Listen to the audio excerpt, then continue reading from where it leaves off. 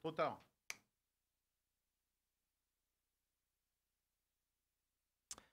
Bonjour, bonjour à toutes et à tous, soyez les, les bienvenus pour ce premier rendez-vous Innov TV System Factory euh, by TVT.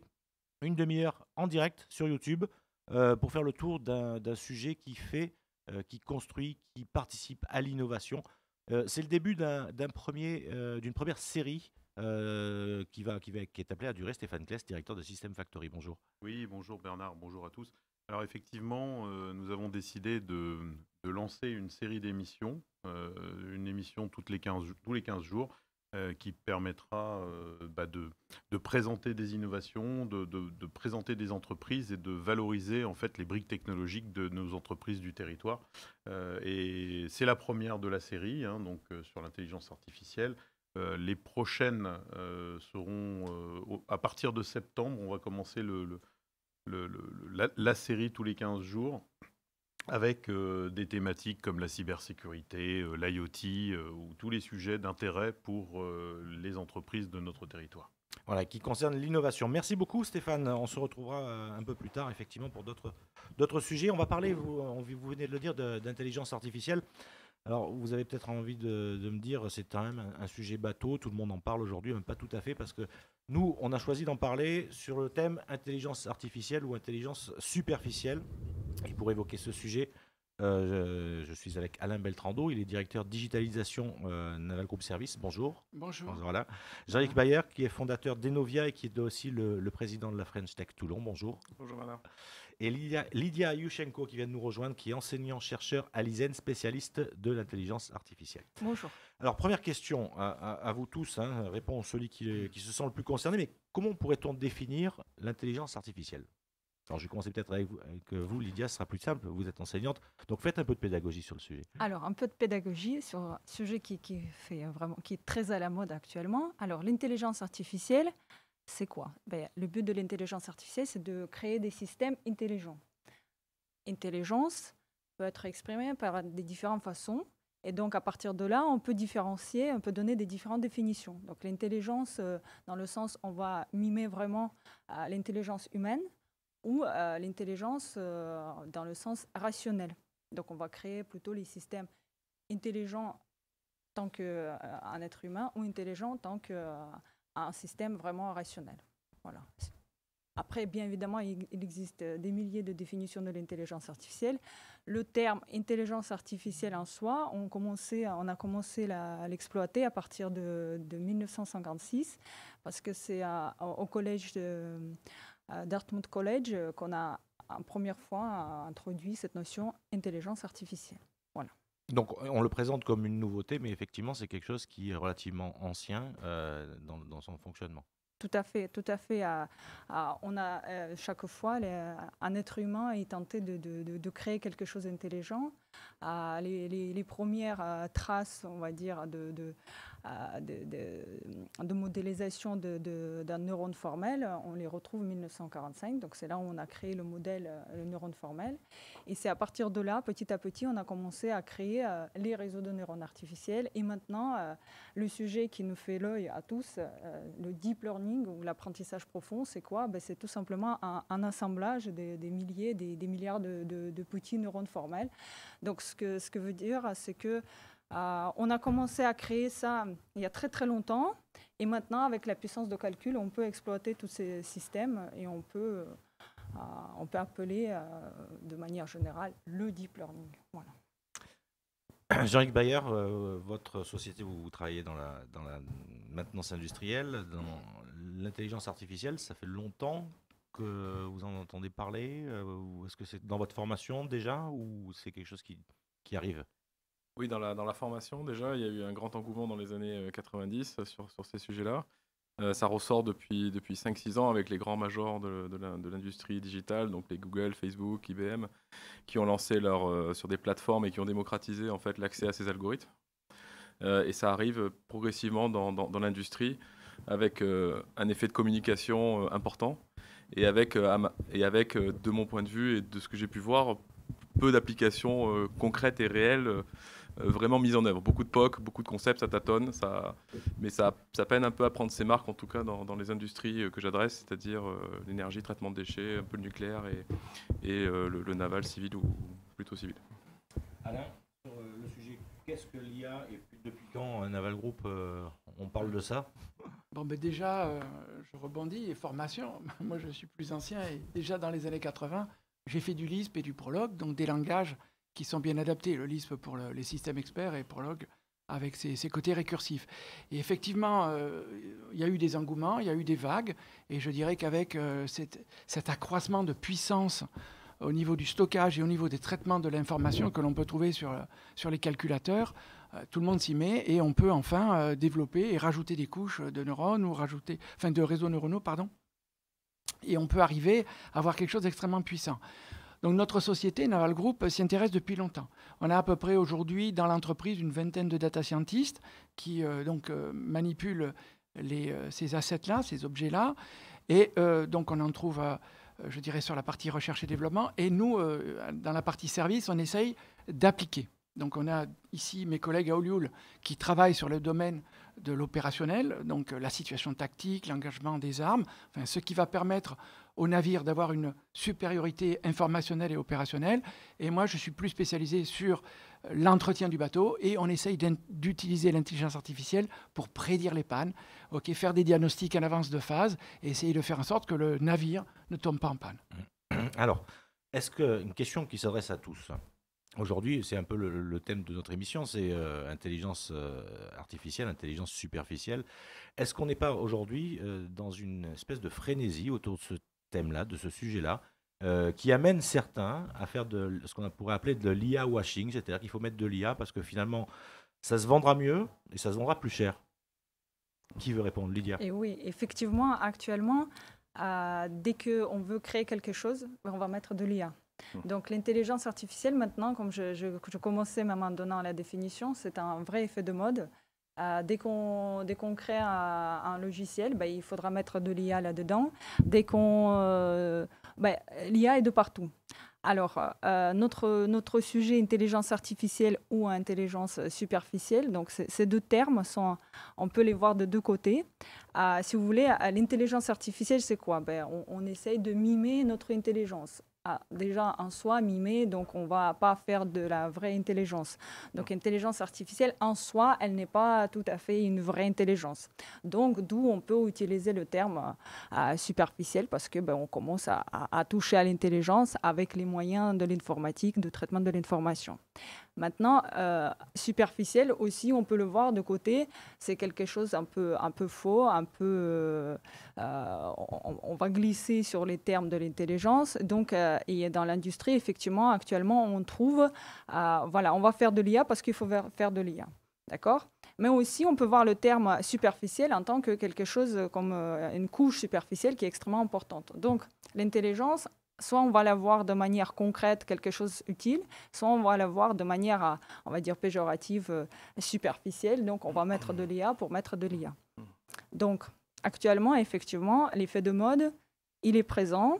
Et c'est pour ça que euh, il faut, je pense qu'il faut, faut, faut, commencer à, à concrétiser c'est quoi de l'IA, qu'est-ce qu'on qu'est-ce qu'on veut en mettre. C'est pas parce qu'on fait du traitement de signal qu'on fait de l'IA, c'est pas parce qu'on fait des, euh, on utilise le, traitement statistique qu'on fait de l'IA. Et si on fait du traitement de signal par exemple et on fait et on n'appelle pas ça de l'IA, est-ce que c'est mal? Si on maîtrise ce qu'on fait, est-ce que est-ce que c'est mal? Donc il faut euh, après, il, faut voir comment, comment la société va gérer ce phénomène. Mais euh, pour moi, les, bons, euh, des bons algorithmes analytiques, euh, ils, sont, ils étaient toujours présents, ils sont toujours présents. Et c'est ce qu'on utilise et on va utiliser. Et donc, ce n'est pas la peine d'appeler ça de l'intelligence artificielle. Voilà. J'arrive Oui. Donc, effectivement, l'intelligence artificielle, elle a, elle a permis quand même d'inventer le magiciel. C'est-à-dire, je cite l'exemple d'un client où en fait euh, il m'envoie des données euh, sur un problème d'une pompe qui avait des défaillances et euh, je, lui propose d'analyser ça et quand j'ai commencé à lui poser des questions sur l'environnement de la pompe, sur comment elle fonctionnait, à quoi elle servait, il m'a dit mais je comprends pas. Ou, avec ce que je vous ai donné, vous, devriez pouvoir comprendre tout de suite ce qui se passe. J'ai dit non, c'est pas de la magie, ça reste des mathématiques et de la statistique. Et parce que c'est ce discours qu'il a entendu auparavant. Et oui, effectivement, à chaque fois, dès qu'on entend de l'intelligence artificielle, on entend du, de miracle. C'est pas le miracle, c'est quelque chose qui nous simplifie la vie et c'est quelque chose qui nous aide à automatiser les processus. Donc il faut en profiter bien évidemment, mais avant tout il faut réfléchir. Est-ce qu'il faut, qu'est-ce qu'on veut en faire? Il ne faut pas faire de l'IA pour faire de l'IA. Voilà, et je rebondis en tant que pédagogue, hein, Bernard, tu, as bien souligné, à l'ISEN, on forme des ingénieurs et on a, on a choisi euh, la tendance de ne pas prendre, euh, de ne pas former euh, les domaines professionnels, de ne pas choisir les options en intelligence artificielle. Pourquoi? Donc tout le monde, nos collègues, ils, étaient étonnés, mais pourquoi? Ben Parce que pour nous, l'intelligence artificielle, elle est de partout. On ne peut pas former quelqu'un en IA pour faire que de l'IA une intelligence artificielle, elle, doit être présente et dans les objets connectés, et dans la cybersécurité, et euh, dans, tous les domaines industriels, euh, on, doit le faire. Donc c'est très important de comprendre pourquoi on va la faire. Actuellement, c'est très accessible. Maintenant, c'est accessible à tous. Quelqu'un qui a un, bon smartphone et, et, des capacités de faire du tracking d'images, de faire la reconnaissance des fleurs, etc. Donc, c'est très beau. Et c'est quelque chose, euh, cet effet de mode, cette présence de partout, ça nous fait penser que c'est tellement simple et, euh, et, ça, va nous, ça va nous résoudre tous les problèmes du monde. Ce n'est pas le cas et il faut vraiment se concrétiser euh, sur ce qu'on veut faire et pourquoi on veut le faire. Mmh. Alain? Oui, bah, je voudrais rebondir effectivement là-dessus. Aujourd'hui, on essaye, pour moi, l'IA, elle n'existe pas si elle n'est pas associée à un métier, si elle n'est pas associée à des fonctions. Je prends par exemple un élément qui est critique dans le navire, la propulsion. S'il n'y a pas de propulsion, euh, le bateau il n'avance pas. Donc du coup, qu'est-ce qu'on fait? Ben, On a des data scientists qui font ce traitement du signal, euh, traitement de l'information, et qui vont jusqu'à la création de modèles. Et ces modèles, c'est là où on aborde ce côté intelligence artificielle. Donc, l'un, ça ne fonctionne pas, on, on leur donne des données, incapable de les interpréter, incapable d'en tirer quelque chose, une quintessence on met à côté quelqu'un du métier. Celui du métier, il a fait, il a étudié. Il a cette notion scientifique du fonctionnement de son moteur, des engrenages, mmh. de la, température, de la vibration. Et du coup, cette association entre les deux types de, fonctions, un, le métier et l'expert, l'autre, le spécialiste de la donnée et du traitement, ça va donner des résultats. Et on commence, nous, à avoir des résultats. Alors après, euh, bien entendu, on est au, au balbutiement encore, il y a encore énormément de travail à faire. Mais je dirais que sans, dévoiler d'informations vraiment euh, confidentielles, on arrive à faire des prédictions. Ok, c'est quand même un, des éléments euh, fondamentaux et qui nous intéresse, c'est de dire ce modèle ok, qu'on a dans la tête, est-ce que j'arrive à le recréer de façon artificielle? Et est-ce que j'arrive à dire il y a une dérive, il y a quelque chose qui se passe sur cet engin et donc il faut absolument arrêter, il faut faire quelque chose, il faut intervenir. Et donc c'est Enfin, c'est l'expérience que, qu'on accumule actuellement. Voilà, donc l'IA, c'est bien un, outil transversal finalement, et, jamais oublier donc le, cœur de métier et cette expertise métier qui, qui permet de, bien comprendre.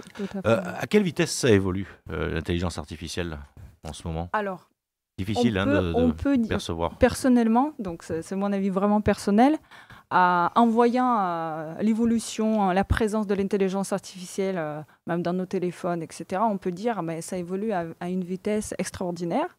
Mais de l'autre côté, moi je dirais que ça évolue, évolue pas assez vite. Et pourquoi? Ben Parce que ça prend des proportions de monodéveloppement. Alors je, je m'exprime y, dans les années 90, ben, on était plus concentré sur les systèmes experts parce que ben, la rétropropagation, elle marchait pas trop bien, la puissance de calcul, n'était pas assez, assez présente pour nous. Donc, euh, ben, on a mis de côté les réseaux de neurones. Donc, petit à petit, on a commencé à développer du machine learning. OK, c'était très bien. Maintenant, depuis 2012, euh, grâce à, à, à, notre cher... Euh, connaisseur de, deep learning, Monsieur Lequin, euh, on a commencé à faire du vrai deep learning parce que, ben, avec euh, toute cette puissance de calcul, on, était capable de, prendre une information, de la rentrer dans, le, dans, les milliers de couches de réseaux de neurones et obtenir le résultat. Donc, on n'avait plus besoin d'avoir ce pré-traitement. Donc maintenant, depuis 2012, ben, on fait du deep learning. On fait du deep learning, on fait du deep learning, on fait du deep learning. Attendez, quand on veut, on a dit l'intelligence artificielle, c'est quoi? Ben, On essaye de mimer de l'intelligence. L'intelligence humaine, l'intelligence de la nature et tout et tout. Quand on regarde euh, comment ça s'évolue actuellement, comment, la nature, elle, traite les choses de manière intelligente, mais il y a, il y a des gènes, donc du coup, on peut rebondir sur les algorithmes génétiques. Il y, a, il y a, la connaissance du, métier, il y, a, il, y a, le neurone, bien évidemment, du deep learning, etc. Il y a de tout. Donc, quand on en parle de l'intelligence, en fonction de, là où on va se positionner, on ne va pas forcément utiliser euh, une sorte d'intelligence. Et nous, euh, dans, dans l'industrie actuelle, dans le développement actuel de l'intelligence artificielle, on s'est concentré sur une branche. Et donc, on met tous les moyens dans cette branche-là. On met de côté une autre. Donc, euh, les algogénétiques, ben, on les met de côté parce que ben, actuellement, ben, ce n'est pas très à la mode. Bien que si on va commencer à, traiter même le, le fameux problème de, euh, voyageurs de commerce, euh, les algorithmes génétiques sont extrêmement puissants là-dessus. Donc, euh, pour moi, voilà, l'évolution, elle est extraordinaire. L'effet de mode est effectivement flagrant. les médias, ils sont ici présents, le deep learning par-ci, le deep learning par-là mais attendez, à côté, on fait euh, dénigrer d'autres euh, d'autres euh, puissances de l'intelligence artificielle. Et donc, pour moi, ça, ça, c'est un frein, et donc, du coup, ça, ralentit l'évolution de l'intelligence artificielle. Et peut-être même d'autres technologies, enfin, si on parle du point de vue de la, maintenance, que, que je connais bien, pour, l'intelligence artificielle doit être vue comme un outil de la boîte à outils qui permet d'adresser des, cas et de trouver des, réponses à des problématiques qui ne sont pas résolues par les méthodes traditionnelles. Tout à fait. Et, euh, donc, en fait, en imaginons une pyramide, au sommet de la pyramide, c'est l'IA, c'est-à-dire que ça, a un coût quand même, ça, ça, ça, a un coût, donc il faut que ce soit réservé à des systèmes critiques, comme, comme le disait Alain. Euh, si c'est pour détecter qu'on euh, on a un, dépassement de température, à un moment, il y a d'autres, ou, ou, de la vibration, il y a des choses qu'on peut détecter ou prévoir déjà avec la vibration, mais ça peut occulter aussi des moyens traditionnels qui fonctionnent très bien, en fait. Tout à fait. et il faut il faut éviter ce piège. Et le deuxième point, c'est que j'ai l'impression que, l'IA, c'est un, jouet. C'est comme un gamin qui a un, jouet. Il est tellement, il est tellement compliqué qu'il ne sait, pas par quel bout le prendre. Et, euh, et, on voit, par contre, ce qui est très intéressant, c'est qu'il y a beaucoup de tests, en fait, en ce moment. On, entend parler partout parce que les gens testent, il y a la capacité de tester. Et ça, c'est ça qui va peut-être faire progresser, justement, d'une part l'adoption, et d'autre part, euh, vraiment la compréhension de qu'est-ce que ça va apporter dans les différents domaines qui sont adressés. Ce qui est intéressant, c'est de voir que cette illusion de magie, euh, magie artificielle, elle est liée euh, au, fait de la donnée. la donnée et en particulier l'image. Donc quand on fait la comparaison avec le cerveau, on a euh, la vue et l'ouïe qui sont les deux sens principaux. Et donc du coup, on développe extrêmement beaucoup de choses sur le côté de l'image. Aujourd'hui, reconnaissance faciale, reconnaissance des objets, ça marche, on peut aller sur Internet. Mm. Et puis de l'autre côté, l'acoustique, ok, avec Shazam et ce genre de choses. Mais derrière, on a plein d'autres éléments qu'on ne sait pas mesurer, que notre cerveau ne sait pas mesurer. Une température, température élevée, une température faible, une vibration, vous parliez de la vibration. Et donc l'IA, euh, appliquée à, ces capteurs-là, à ces données-là, ok, va nous mener à la regarder différemment. Mmh.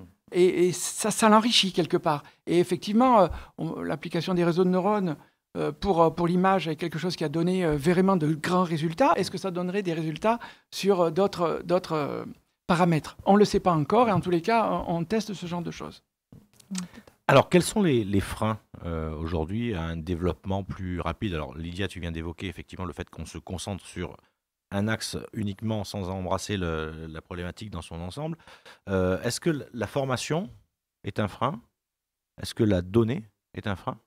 Tout à fait. Alors, oui, la, formation, oui, la donnée, la puissance de calcul, elle va quand même nous limiter un petit peu, même si on va. Même si aujourd'hui on, s'oriente vers les ordinateurs quantiques qui, a priori, devraient résoudre, en tout cas cette problématique-là. tout à fait. Euh, et euh, le frein aussi, c'est que ben, on prend à la légère. Euh, on a créé plein de frameworks qui, qui nous permettent de faire de l'IA sans comprendre ce qu'on fait. Maintenant, une personne, elle peut ouvrir à à une bibliothèque, euh, un TensorFlow, poum, euh, je vais traiter telle donnée, telle donnée, euh, l'architecture elle est déjà donnée, je fais du deep learning sans savoir ce qui est dedans. Donc les boîtes noires, donc pour moi c'est un frein de développement parce que si on ne sait pas ce qu'on fait, eh ben, ça ne va rien donner. pour moi, la résolution de, des problèmes de l'IA, ce sera la compréhension de l'IA. Si on va parler vraiment de deep learning, comprendre combien de couches, combien de neurones, euh, pourquoi je choisis telle vitesse d'apprentissage, pourquoi je choisis euh, euh, tel nombre, X nombre de couches, pourquoi je choisis mmh. telle fonction de transfert dans tel cas ou tel cas? La compréhension de cette architecture-là, de, l'ensemble de ces choses-là, ça va nous donner vraiment de la puissance. Et je pense que quelqu'un qui, actuellement a, a, de la force dans cette branche de deep learning, c'est parce qu'il sait ce qu'il fait, et ce n'est pas accessible à tous. Donc du coup, on rebondit dans la formation des, étudiants notamment. Il ne faut pas former les étudiants à utiliser les bibliothèques. On a actuellement à la génération, j'appuie sur le bouton, euh, j'obtiens un résultat. Donc ça, ils savent très bien faire. Par contre, ce qu'il faut apprendre les élèves, il faut apprendre des, des ingénieurs actuels, et il faut apprendre à comprendre ce qu'ils font. Mmh. Donc si on a cette compréhension, on va aller euh, bien euh, de l'avant et on, va avoir des résultats. Voilà. La tendance, c'est vrai que c'est de plus en plus dans les bibliothèques qu'on peut trouver sur euh, notamment les plateformes Internet, c'est le auto, sélection automatique du modèle. Vous appuyez sur un bouton, mettez vos données et ça sort quelque chose. Et comme le dit Alain, si à un moment il n'y a pas un expert métier pour pouvoir euh, juger de la pertinence et quelqu'un aux manettes pour effectivement bien valider que c'est le bon algorithme, on, se retrouve sur des catastrophes. Faut pas imaginer. Il y a aussi le, degré d'incertitude en fait que va générer l'utilisation de ces technologies. C'est pas précis à 100%. Donc si on veut, si on a des vies humaines en jeu, euh, il faut à un moment se poser vraiment la question de, euh, de la fiabilité. Et pour cela, il faut vraiment qualifier d'une part la donnée, l'algorithme, et ensuite qu'il soit, qu'il soit validé, revalidé, etc. Euh, le, le, le, point suivant, c'est euh, euh, sur, sur, sur, sur, cette partie apprentissage, comme tu l'as dit, Lydia, ça singe le comportement de l'humain. Donc si moi je fais mon apprentissage sur des données qui sont sur une plage A et que mon modèle se retrouve dans une plage de fonctionnement B, eh ben, qu'est-ce qui va se passer? Ça, ça, ça, peut marcher, mais ça peut ne pas marcher. Donc je vais, je vais à un moment engendrer euh, des risques que je ne maîtrise pas forcément parce que quand j'ai cliqué sur un bouton et qu'il m'a dit 100% OK converger, euh, vas-y go, on déploie non, il, faut, il faut prendre ce recul nécessaire. Euh, si on est sur du marketing, la campagne, email, etc., bon, effectivement, il n'y a pas trop d'enjeux. Si on est sur un système de combat où bah, il faut à un moment prendre la bonne décision, ou sur un avion, c'est d'autres perspectives et effectivement nécessité de formation et de compréhension accrue. Alain oui, vous avez raison. C'est la première chose qu'on vous apprend en école d'ingénieur. c'est que quoi que vous modélisiez, ok, c'est dans une gamme. Et si vous changez la gamme, le modèle, il est plus bon. Donc, ce qui était valable hier, dans les années 80, je, cite euh, le professeur Richalet, qui était une sommité dans ce domaine de la modélisation euh, multidimensionnelle. Bah, Aujourd'hui, euh, dans les réseaux de neurones et dans le reste, on a la même problématique. Hier, les équations, on les démontrait. Aujourd'hui, avec l'IA, on, a un résultat, mais il n'est pas démontré. Et, donc, du coup, cette explicabilité qui nous manque, eh ben, elle nous gêne. Intellectuellement, elle gêne, euh, elle gêne tous, les, tous les scientifiques, un ingénieur et un autre, et on a besoin de, répondre à ça. Dans, dans, les questions que vous posiez sur le frein, moi, je dirais qu'il y a des enjeux aujourd'hui. Et il y a un enjeu principal, c'est la donnée. Ok, donc on a parlé de l'IA pour l'exploiter, mais sa captation, mhm. sa propriété, son accessibilité, sa qualité, sa quantité. Ok, ce sont tous des éléments euh, qui, euh, qui, ont une, une, très grosse importance. Souvent, euh, quand on regarde un petit peu ce qui est disponible, on dit, mais vous n'avez pas assez de données, vous ne pouvez pas faire de deep learning avec ça. Alors qu'est-ce qu'on fait? On fait le traitement du signal, on fait des choses plus simples qui amènent quand même des résultats. On n'est pas obligé toujours d'aller dans cette direction-là. Mais en tous les cas, et la captation avec l'IoT, ok, c'est aussi quelque chose d'extraordinaire. Et puis, en plus, on va générer, parce que là, je dirais tout ce que vous avez comme votre téléphone, là, c'est un IoT. Donc euh, déjà, le fait de s'en servir, vous générez des données. Euh, tout le monde va, on va mettre des capteurs comme des malades sur tous les engins, sur tous les éléments, et à la fin, on n'arrivera plus à gérer tout ça. Mm. Donc il y a euh, cette étape. C'est Thierry Breton qui disait il y a quelques années, il disait on, va vers le cloud, c'est fini le cloud. On va vers le fog, c'est fini le fog. Donc il va falloir que on fasse de l'IA ou du traitement on the edge, c'est-à-dire dans l'usine, derrière le capteur. Et donc, euh, on travaille aussi sur ces sujets parce qu'il est très important.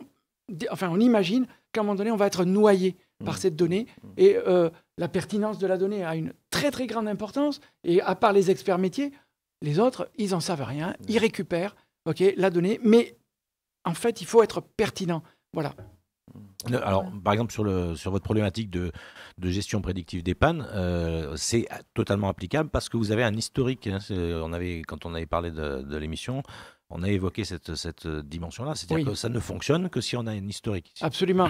Donc, on a, on a les deux approches. D'où la donnée euh, pertinente ou pas. Dans, cette algorithmie, on a deux approches. On a l'approche supervisée et l'approche non supervisée. L'approche supervisée, c'est qu'il faut avoir eu des pannes. Donc, aujourd'hui, je mets sur un bateau un ensemble de capteurs et je dis, je vais euh, pouvoir anticiper et prédire les pannes. Non, puisque je ne l'ai pas vu fonctionner. Mm. Je ne sais pas quel est son régime optimal, quels sont ses régimes transitoires. Mais là, on touche vraiment une limite. Euh, Tout à fait. Et donc, après, une fois qu'on l'a vu euh, fonctionner une, année, deux ans, trois ans, et qu'on a établi un régime, ben, on peut, si on a eu des pannes, ben, si on les retrouve, on sait exactement les dérives et on sait qu'on va aller vers ces pannes. Et puis le régime non supervisé, c'est l'observation des dérives.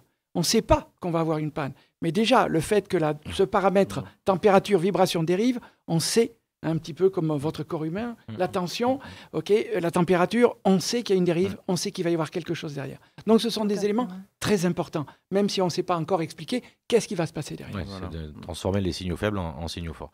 L'interprétation des signaux faibles. Euh, sur, la, sur la dimension formation, on, voit aujourd'hui apparaître des nouvelles fonctions dans les entreprises, euh, data scientist notamment. Euh, un peu comme dans la cybersécurité, j'ai envie de dire, c'est quand même des, titres euh, ronflants euh, qui sont devenus par la force des choses des spécialités, mais qui ne devraient pas l'être, très clairement. Hein, pour vous êtes à peu près d'accord là-dessus, eh oui. Oui, oui, bien sûr. Là, encore une fois, des titres à la mode. Les data scientists, bah, tout à fait, tout, simplement les experts de données. Et un data scientist, data scientist, c'est qui? Ben, C'est quelqu'un qui, qui sait faire les maths, qui sait faire un bon développement et qui a la maîtrise du sujet. Donc c'est la personne qui, qui, a ces trois points en lui. Et donc euh, actuellement, euh, des fois ça me fait rire parce que des fois je participe dans, dans, dans, les réunions où euh, les industriels ils disent mais on n'arrive pas à trouver un data scientist, on n'arrive pas, c'est impossible, les jeunes, on ne forme pas assez de data scientists on ne peut pas former un, data scientist. On peut bien évidemment former quelqu'un, donner des, euh, donner des algorithmes nécessaires pour, pour la compréhension de, l'analyse des données, de classification des données, bien évidemment. Mais un ingénieur, un, étudiant qui sort, il n'a pas encore de la maîtrise de, de, données, il n'a pas encore cette, expertise des données.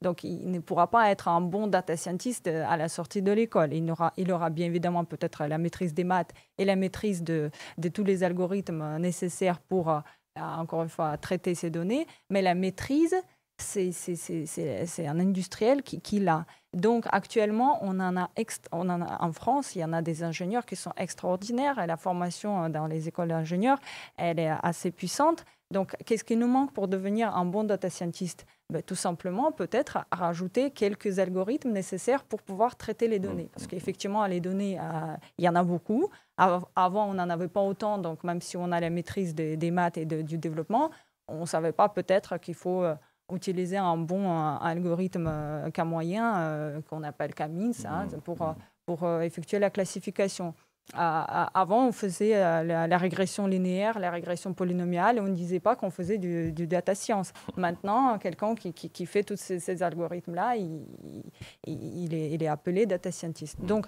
il ne faut pas avoir peur. Euh, on, a la maîtrise. La France, elle n'est pas en retard dans, ce développement-là. On n'est pas en manque.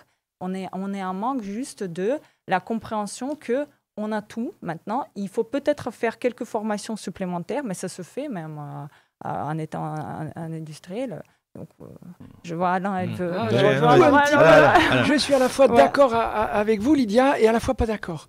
Parce qu'effectivement, aujourd'hui, les ingénieurs, bon, les ingénieurs, on les a mis sur des métiers. Ils deviennent experts de ces métiers. Mais il y a certains perdent les notions de régression et, scientifiques qu'ils ont appris à l'école et qu'ils n'ont pas mis en pratique depuis longtemps. Mm. Donc aujourd'hui, nous, on crée des binômes. Donc j'ai des spécialistes mathématiciens, effectivement, statisticiens, traitement du signal, et je les associe avec des spécialistes d'un métier particulier. Ah, bah, et euh, on a eu, on a eu des, difficultés, on a rencontré des pannes à droite, à gauche, et j'ai vu le résultat. Ok, la résolution d'un problème, quand je mixe à la fois des gens qui ont récupéré des données, qui, ont du mal à interpréter ce qui s'est passé sur leur objet, leur équipement, et de mettre à côté des data scientists qui vont analyser, on n'est pas dans l'IA, mais on est dans la data science, mais analyser ok, les signaux le résultat est extraordinaire. ok et quelque part, ce qu'on va faire effectivement, et, mais il faut du temps hein, dans une entreprise, c'est qu'effectivement, des ingénieurs, on va les pousser vers cette notion de data science. Et puis, ces data scientists, on va leur donner aussi une culture ok technique, euh, proche du terrain. ok D'ailleurs, ils sont très, très intéressés par ça. Oui, je, suis... La, nouveauté, effectivement, de la spécialité euh, euh, a, incité ou a malheureusement imposé à certaines entreprises de trouver ce qu'il y avait sur le marché. Enfin, je ne suis pas péjoratif là-dedans, mais euh, donc on est parti plutôt sur des gens qui connaissaient les maths, parce qu'effectivement, au bout de 30 ans, euh, euh, bon, on est, un peu, on est peut-être peut-être un peu moins, on est un peu moins à l'aise avec toutes ces notions mathématiques qu'on a qu'on a qu'on a vues pourtant en détail.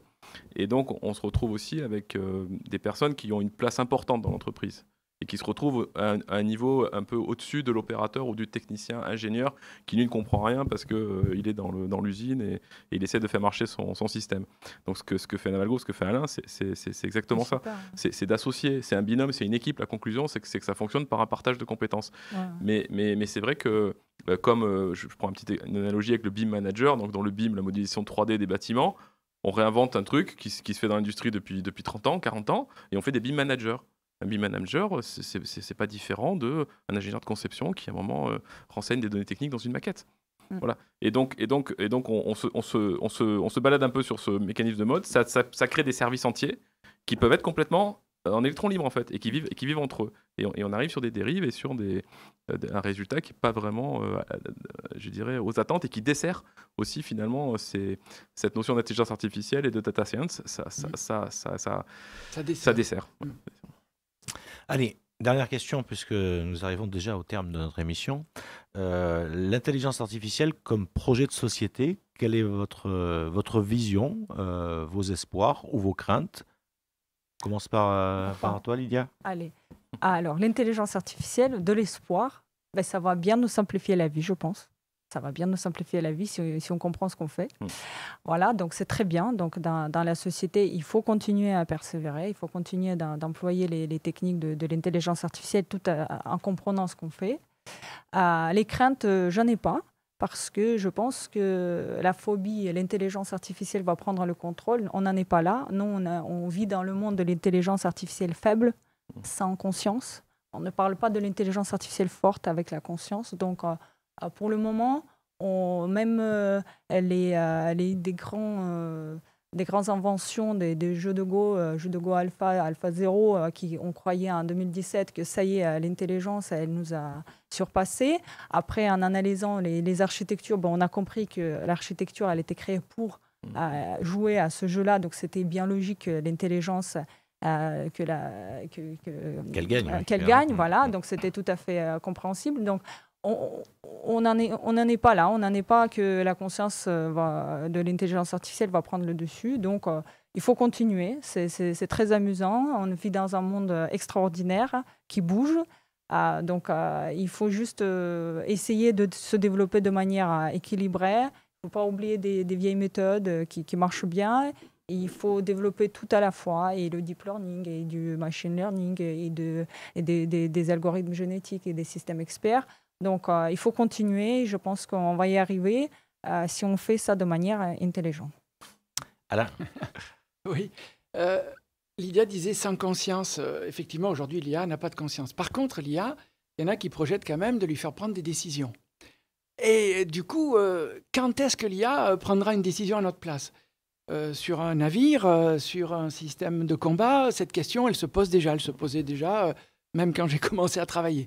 Ok, c'était pas de l'IA, mais il y avait des systèmes qui étaient capables de prendre une décision. Notamment avec les, nouveaux armements, les missiles de, croisière euh, supersoniques euh, qui arrivent tellement vite qu'une décision humaine est impossible. Tout à fait. Mm. Mais euh, on n'est pas, on est, on, on, réfléchit. Mm. Et je dirais, on est le pays de Rabelais. Et moi, il y a une, une formule qui m'est revenue science sans conscience n'est que ruine de l'âme. Donc, nos marins Naval Group et toutes les sociétés qui travaillent dans, ce domaine, on n'ira pas dans la direction d'une décision sans qu'on ait compris exactement ce qui se passe et sans que l'homme n'ait pas décidé et autorisé que cette situation, ces décisions soient prises. Très, très important. Voilà, donc il y a un cadre. Jean-Yves? Oui, je rebondis sur ça. Euh, il y a la notion d'auditabilité, de, traçabilité en fait, et de validation de la, du circuit de décision, euh, qui, s'il n'est pas euh, développé, et c'est une tendance des grands, des grands du web, de pouvoir rendre l'intelligence compréhensible, c'est-à-dire de savoir par quel mécanisme on est passé pour prendre cette décision. Et, effectivement, à partir de là, en dehors des questions éthiques, qui resteront, hein, l'éthique évidemment, mais on, on va, et c'est pour ça que je suis optimiste, on va fiabiliser en fait cette intelligence. Côté industrie, moi je pense que ça va porter euh, un grand gain sur les, gens du terrain, les opérationnels, en euh, évitant qu'ils soient noyés par ce flot d'informations et en prédigérant euh, donc toutes ces données qui remontent pour pouvoir leur donner plus de facilité à diagnostiquer et améliorer finalement leur, le process et leur métier. Et aussi, par contre, ça s'accompagne d'un effort de formation pour que tout le monde monte, c'est-à-dire qu'à un moment, des tâches qui étaient basiques et qu'ils faisaient, vont, ils vont plus les faire.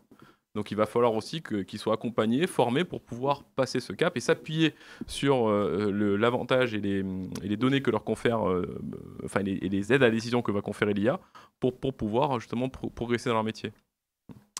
Merci beaucoup. Merci. Le temps passe vite en Merci votre compagnie. Bernard. Voilà, c'est la fin de, de cette première euh, émission euh, Innov TV System Factory by TVT euh, sur ce thème. Alors, j'espère qu'on aura essayé de, de répondre à votre question, hein, intelligence artificielle, intelligence euh, superficielle. J'espère que vous avez eu un certain nombre de réponses. Je pense que c'est un sujet au- aussi sur lequel on, on reviendra dans cette émission, euh, avec des angles bien particuliers sur les, les thématiques de la formation et puis la thématique de la mise en œuvre dans les différents domaines d'activité. Bonne journée à tous Bonjour. et à bientôt. Merci. À Au bientôt. revoir. Merci. bientôt, Bernard.